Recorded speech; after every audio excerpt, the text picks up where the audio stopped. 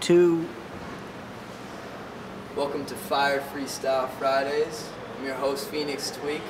Here today we have the legendary, the sweet, the beautiful Elvy Musikka. She is a legendary person in this movement because she gets federal medicinal cannabis, which means the federal government sends her cannabis every month. And we had the pleasure, NORML at UCF, of speaking with her today, and she told us her story. And I just wanted to get a little in depth and let everyone out there on the internet know who Elvy is and get to know her on a more personal level. So uh, here we go. First question I'd like to ask is when did you first get your medicinal marijuana? In October of 1988, I became the first woman to receive federal, federally grown marijuana from the University of Mississippi through National Institute of Drug Abuse and at the Bascom Palmer Institute.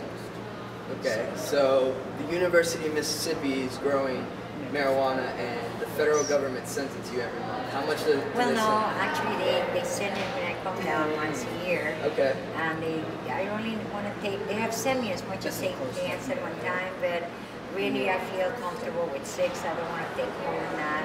And because I now live in a state where it's legal, I try to combine it so that I have six months supply of government pot and six of Oregonian pot, and that way I can mix it and use the stronger pot, which is of course from Oregon at night for sleep and all those disorders, and the cannabis from the government to keep you moving because it's it's happy weed, it's Mexican weed grown in Mississippi, it's, it's nice. When it's nice, it's nice. When they send hemp, well, the problems. Okay, so, um, and I understand that you also are a talented musician.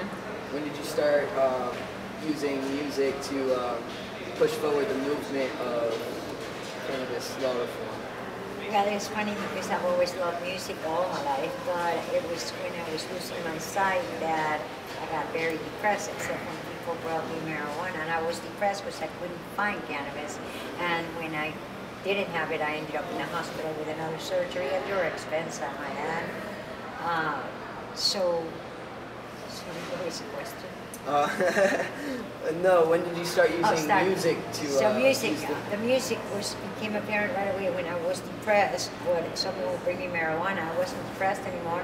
I started to write music, and the music was not cannabis or anything like that related. It was just love songs Okay. music and whatever came to my head at the time. But it just was another side of me I never knew until I until I used marijuana, and it was a good thing to know at that time, especially.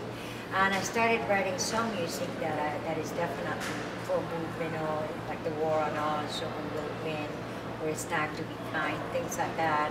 And those I wrote once I got over pretty much. As I got the first one was when I was going to Tallahassee for my first rally. I did Time to Be Kind. The second one when somebody took the trouble to read me The Emperor Wears No Clothes, the book that changed my life with Jack Herer, which explained the whole prohibition and why we were in the mess we're in.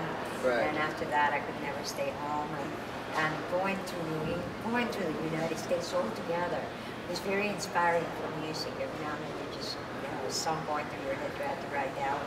And I was lucky enough to come home and find uh, John Sack, who's an excellent musician. I called him and go to his little studio and put down a couple of tracks for tapes. That's all we carried was uh, tapes, you know, Yeah. cassette tapes. Okay, Yeah, so you got you got your started, yeah. you got your medical marijuana, and then you started writing music because Yes. you were happier. Yes. And then when did you? Where does uh, becoming an activist come into that? I know you're a spokesperson. you 1990, yeah, 1990. 1990. I was already, I had already been receiving it for uh, a year and a half by the time.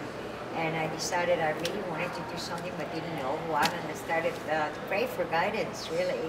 And I didn't want to contribute to the war uh, because the, the, the drug situation was really bad. That's when we were uh, Oliver North and all those people were bringing drugs to our cities. And the whole youth was really into all this cocaine and all that, and it was pretty scary. And of course, most of us, including me, didn't have a clue why why it was happening or what was happening. But that's when I prayed, you know, that I could find the answers. And oh boy, were never be careful what you pray for. Right. I found the answers, of course, and once I did, and about we were arresting 200,000, 300,000 people. About then, now we do about 800,000. But when I found about the two or three, I really understood that if I wasn't part of the solution, I would be the problem. I, and that was a theme of some of the young people used to say that always. And I picked that up from them, from the Green Panthers to be exact, because it made sense. And because I was receiving medical marijuana from the government at your expense, your taxes are paid for this. I thought the best, the only thing I could do is to try to find out all I could and give it back to you so we can make some changes. And I honestly believed then that, you know, five minutes, of, I mean, five years of true education would be all we need. Well, I don't know, that was 20, you know, 20 something years ago now. So evidently it's really, of course, we've come a long ways. We now have, what, nine states and the capital of the United States accepting medical marijuana. Right.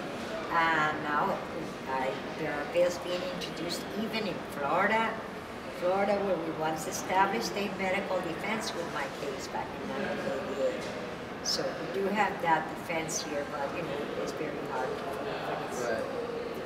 And now you're, you're getting new bills introduced, and this is the time to really remind your legislators that they can afford this war at any level, certainly not financially. The prison industry is the legacy of Richard M. Nixon, who left the presidency in disgrace for lack of honesty and full dislike of the Substance Control Act, which, by the way, we do not adhere to in Oregon. Pharmacy boards in many states have voted it out. Is not a Schedule One in those states. Right on. uh, and you need to do that. We all need to do that because once those states accept it, then the federal law can go to hell. You know? I mean, really, you know, let's stop it. But Obama keeps saying that we have to make him do it, so that really means that all of us have to find a way to present the information we have to his office, to the different departments, to the heads of the different states. Really, really let them know that nobody buys this lies anymore, that we've had it with the five generations of lies and misinformation, a hundred years of torturing our own people has got to come to an end. We would never accept it from anyone else coming in here treating us like that, and yet we treat our own like that. Slavery was supposed to have ended a long time ago, yet 12% of the black community smokes marijuana, and 70% of the arrests are black people and Hispanics. Uh, it is definitely just prejudice and garbage and lies, and it's up to you to end it because I don't know about you, but I do not want to deal with the karma that comes back to us as a nation if we don't stop destroying our homes, our nature, replacing this plant with 60,000 chemical products. That means also destruction, deforestation, that means pollution, that means health hazards that affect your immune systems, as you know, an all-time high of immune system deficiencies. And every other one of us, or at the very least every three, every third person, is to have some form of cancer. Is that going to be you, me, both of us? Well, I, uh, I use enough marijuana and I keep my immune system very well protected because of it, because that's what it does. So I don't think I would be that one, but I don't want you to be that one either. And I think we really have to take responsibility and end this nonsense. Let's end this nonsense. Thank you, Yeah. Elvin Musikka. We're fighting the good fight. You can connect with us online. We'll have at the end of the video links to get in touch with all of us, learn more about Elvy Musikka and her journey. Um, till then, keep fighting the good fight. We're gonna have some music for y'all. So stay tuned. This is Fire Freestyle Fridays. Yeah, yeah, yeah. Let's go. Let's go back to the house. Let's go jam. Let's do it. Cut. Head.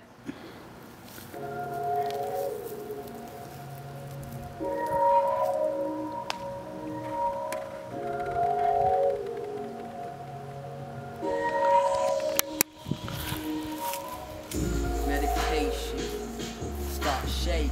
Why? Because I'm not medicated. Why? Because they won't give it to me, even if it can save this existence I'm living in. I know a few who have passed away. Rest in peace. This is all I'll say. But back to the matter at hand. There are people alive right now that can benefit from a tin can full of joints like Elvy Musikka. When we bring that Musikka, We're gonna show you how we're feeling Rica. I'm feeling so good, and it's understood why. I take a hit and I fly with my own system. There is endocannabinoid receptors living in me, medicated. I'm taking a spaceship to a place where I can take this life that I'm dealing with, man. This is the realest shit that I can bring and I can sing, but it comes out like this when I am emotional. On a roller coaster full of wrong turns because they think that they're gonna pull us along around these wrong turns. Man, I'm driving on the right lane, doing the right thing for me. I don't care if it's illegal, I am going to smoke weed. Sorry for the government if you ain't loving it. I'm not signed up to your government. I'm here, United States of America. So that means that I do care for the inhabitants, but you ain't having this. I know some stories, but I don't want to get too gory about kids dying, why kids crying, mothers crying. Let's stop the violence with alcohol. You kidding me? Trying to get rid of me? I'm trying to be living free, but I'm spitting these bars unmedicated. I wanna take this spaceship to places I never been before, cause I don't know what is in store. So I like to explore different things with my body kush on it. I'm not talking cushion of Bugatti or something like that. I'm riding feet in the ground. You know my sound is coming through smoking loud. Proud to admit it. And if you try me, I will get acquitted. Why? Because medical amnesty, I'm in FLA, and I'll tell you we don't play. Activism, we gon' bring it, right? You had your vision, but you lost your sight. Glaucoma? No way. In a coma? Okay, but why? Was it medical malpractice? Cause that's the kind of shit I'm not having. Man, fuck it all. Man, fuck it all. Man, fuck them all. Let's rush the wall. White House, bring it down. I'm alright now, but I'm getting loud. Can you smell that? That's in my back pocket. Makes me blast off like a rocket. And I will stop this aggression. Cause I'm best when my system is meshing with the best piff I can find. Man, I'll go for a sativa. I can climb and then I can recline after I am energized. You see my eye? Looking clear. That's because I have no weed here. I fear for those who need it. Dear people who are being treated as heathens when they could fly higher than the stars. You know I bring these bars for you and you too. Let me show you what you can do. Put down the joint and make it a point to call your representatives so we can help us live the way that we want to because you know we got to take a stand. I'm on two feet until I do reach skies blue ahead of me. World's turning and I still see Houses burning down, but no one burning tree. My intertwined divine lines in rhymes that provide insight and define the times. Open eyes to realize the lost lives, undropped nines, and how to survive the times. Why I wanna stop crimes, gang signs, poverty lines, in solitary confines. My future is mine, but futures that barely shine have closed blinds. So I'm hoping you find how to open your mind.